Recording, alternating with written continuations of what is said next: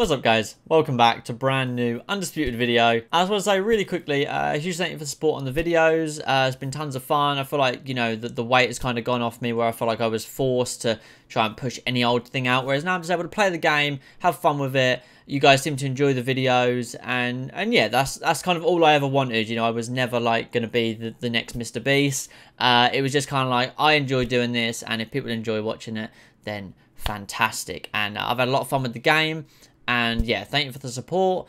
And I'm glad that, you know, people are still around. Obviously, you know, I'll, I'll, still be covering all the news and all the new stuff to come and any rumours of fighters that may be coming in the future. So I'll still be keeping you guys updated. Uh, but it's great that I can daily upload, maybe even double daily upload. Um, and just play the game. And it is it's fantastic. Now, I recently done a top 5 fighters for beginners because obviously I was lucky enough, thanks to Steel City Interactive, to play the game early. I've been playing it for about a week now, whereas everyone else is only on their first day. So I've been very lucky in that regard. So I made a top five fighters for beginners. Seemed to be helpful.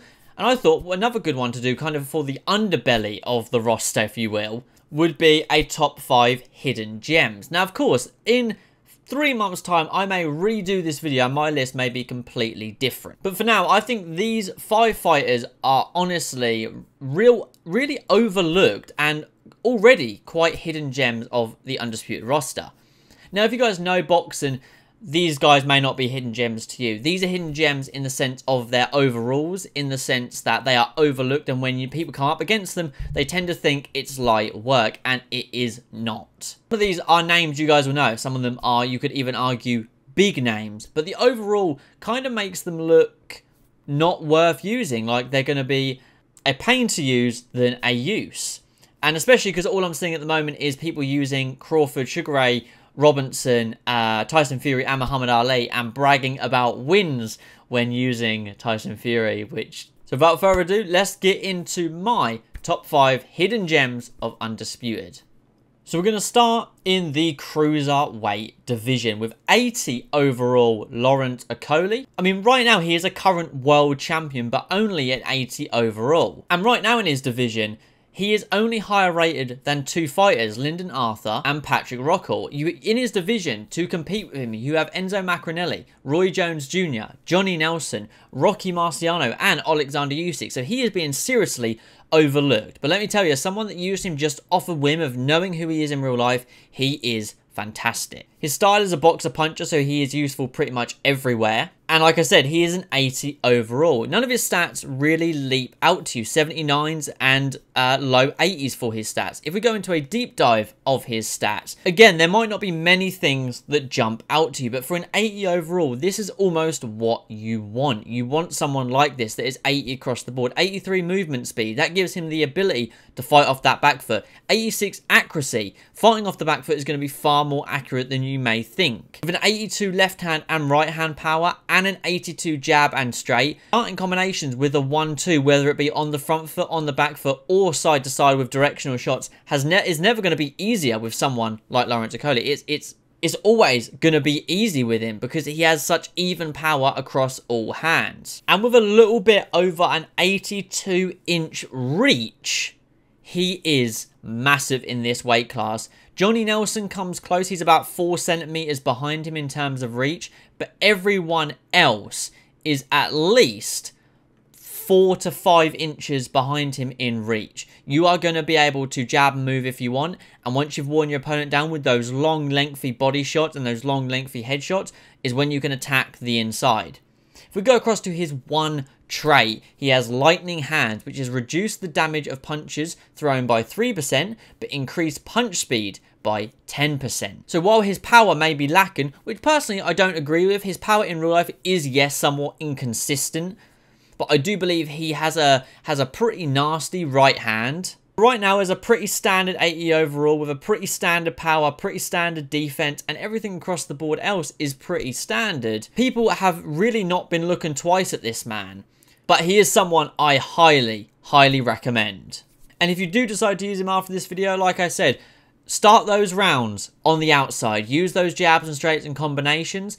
Mix it up on the inside to body and head, and then break away. You will just realize how big this man is compared to the other cruiserweights. Now, this one is a proud one for me. This is someone I knew would be a hidden gem before the game came out. And that is in the lightweight division at only a 79 overall, Dalton Smith. His fighting style is an outboxer and he has no active traits. So right now you're relying on just stats and 79 overall. People are not looking at him more than once. But an outside fighter always has the risk of being a hidden gem because outside fighting is so useful if you know how to do it. However, if we look at his stats, we can see one thing excels above them all, and that is speed, and then health, and then strength. If we go across to his stat breakdown, we can see there are some pretty low ones here. Block health is a 75. Stamina recovery is only a 78. And uppercuts are a 75 as well. Pretty low stat.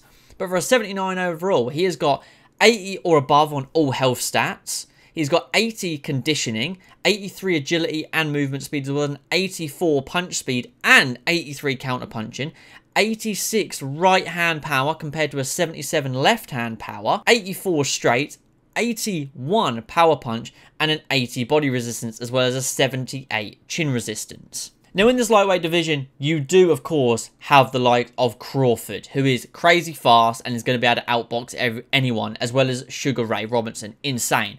But you bring Dalton Smith up against Arturo Gatti, Micky Ward, Jordan Gill, Jono Carroll, even Ricky Hatton and Josh Taylor, and even Ryan Garcia. If you know how to outbox, you are going to outbox all of them with Dalton Smith because I guarantee you people make the same mistake they did when I used Dalton Smith, and that is underrate him and expect him to go down easily because they just see that 79 and they don't think much of it. Dalton Smith is a fantastic outfighter. You can use it in both loose movement and non-loose movement to outside fight. He has great combinations when someone gets inside your range. Don't be afraid to mix it up with him. His chin resistance may be low, but it's still a 78. It is one of the lowest in the division. But definitely don't be afraid to mix it up on the inside of him.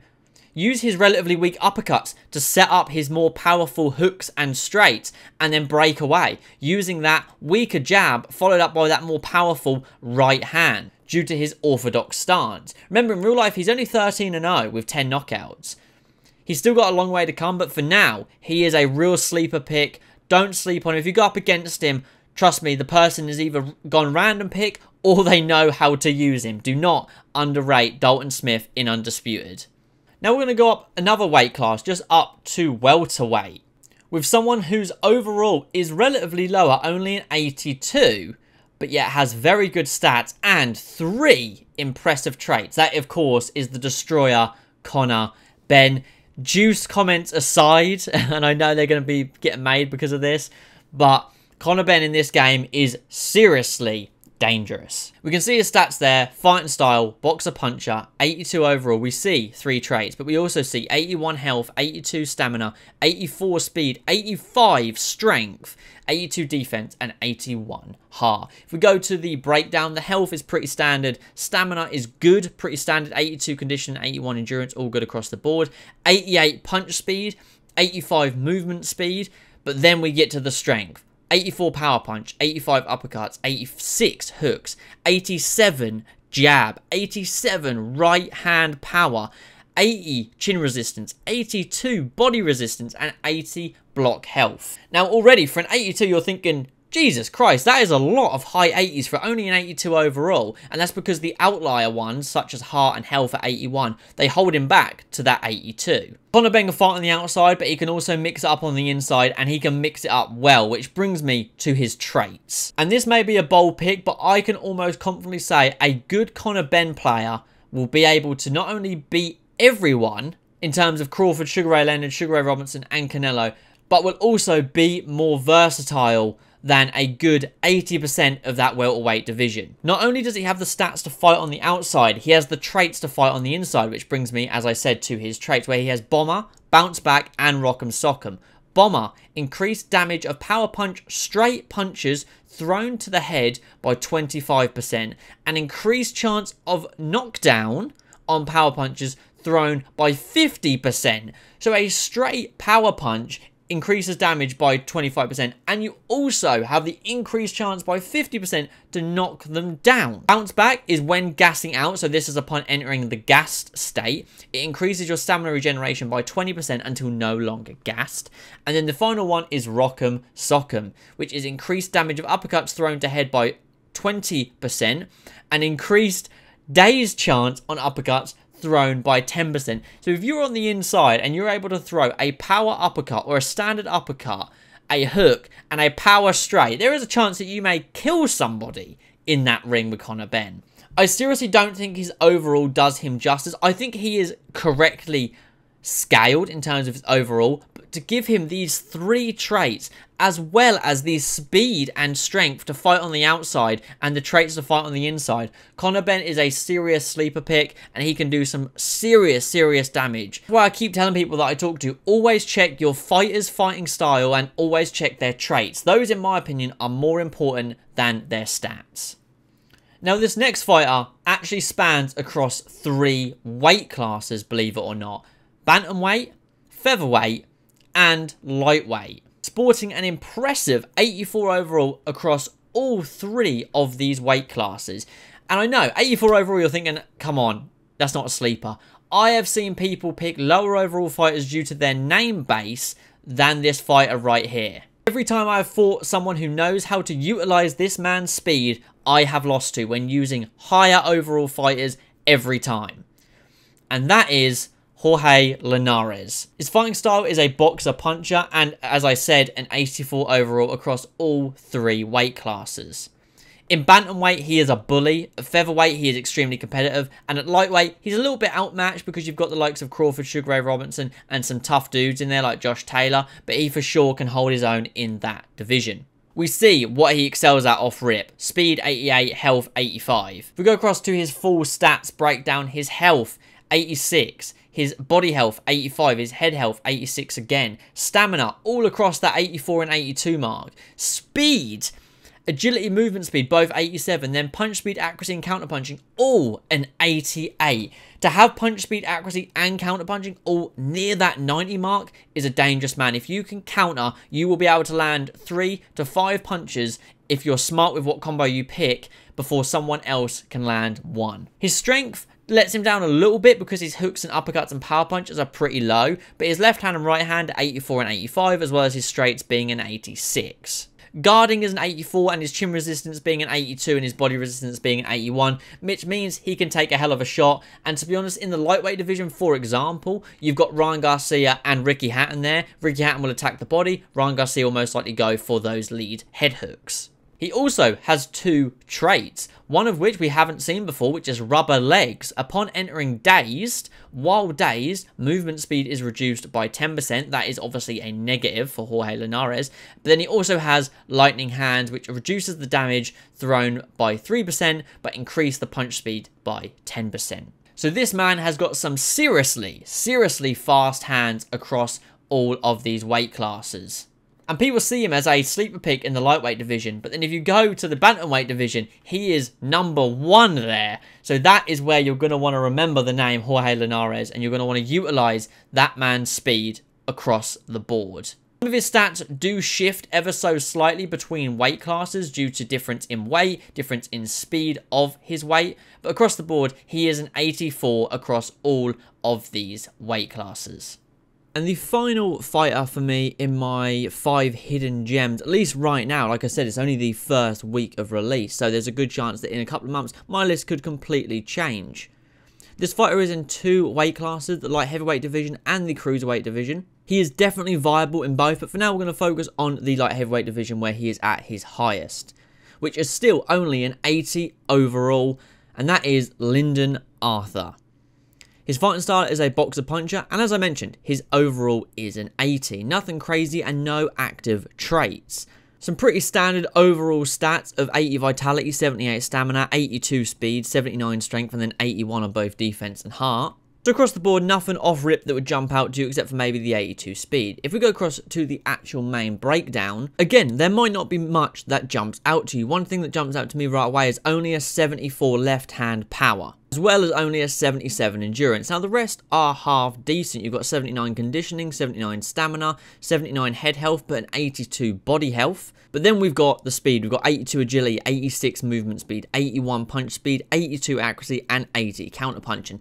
So right away, despite being a boxer puncher, for me, I'm seeing the style I'm going to want to pick, which is never standing still. If I do stand still, I'm going to want to trade in the pocket very quick with his best shots, which are the hook, the uppercut, and the straight. So for me, that would be leaving the pocket with a straight after landing perhaps a hook, followed by an uppercut, or an uppercut followed by a hook. When I use Lyndon Arthur, I like to use that big, nasty jab. Now, in the light heavyweight division, you, up, you go up against Canelo, Enzo Maccarinelli, Patrick Rockall, and Roy Jones Jr. The only one, believe it or not, that really poses crazy threats to Lyndon Arthur in the light heavyweight division is Roy Jones Jr. He's much longer and taller than Canelo, so you can avoid Canelo for 10, 12 rounds, whatever you may fight. But of course, if he hits you, then you may get hurt because Lyndon Arthur only has a 79 head health and an 82 body health. Enzo Maccarinelli, you're going to have a relatively competitive, rangy fight, and Patrick Rockall, you run the risk of him of his low chin stats as well as his low stamina stats. So Lyndon Arthur, for me, the light heavyweight division is being relatively abandoned, but when people are at light heavyweight, everyone's going Roy Jones. At cruiserweight, it feels like no one's looking at Lyndon Arthur. But even despite being a 79 overall at cruiserweight, he's still a legitimate pick. He's still bigger than Rocky Marciano, who's a much stronger man. And of course, yes, you do have to run the risk with Lyndon Arthur of making sure you have your guard up at all times. As normally when I use someone like Lyndon Arthur, someone a bit longer, I like to have my block down most of the time. But I recommend with Lyndon Arthur, you do keep that guard up. His, his guarding is a 79 and his block health is an 81. That's more than enough to take a, a viable amount of shots against any light heavyweight. Of course, we I, I, often tend to exclude Roy Jones because he is just so overpowered in this game. He is just a absolute force in the light heavyweight division. He's a force in every division, but against most, if not all of the light heavyweights, Roy Jones will reign among them all at the top. But Lyndon Arthur is a legit sleeper pick in my opinion. A few people I've seen have mentioned about how when they used him he was incredible, but there's a few people, like I've mentioned on this list that I've spoke about in the Discord, that people just have not used yet, and I highly recommend going out and using these. You may lose your first fight with them, you may lose your second and third fight with them, but I guarantee when you learn them, you'll realise they are a legit viable pick. And that's what I've experienced with, with all of these fighters on this list. I've won some, I've lost some, but I've held in more than you would expect for their overalls or their lack of traits or their lack of stamina, their lack of health, whatever they may be lacking, they are not as bad as their stats dictate. And I want to give two quick honourable mentions. The first honourable mention goes to the second lowest fighter in the game, which is Hopey Price, who is an outboxer at 71 overall. His stats are not great. He does not have any traits, but he is definitely useful in an 8-round fight. I don't recommend trying to take him 12 rounds, but in an 8-round fight, don't look at that overall and not use him. He's definitely fun to use. He's got solid speed in that jab with his speed being a total of 77 and he's a lot of fun to use.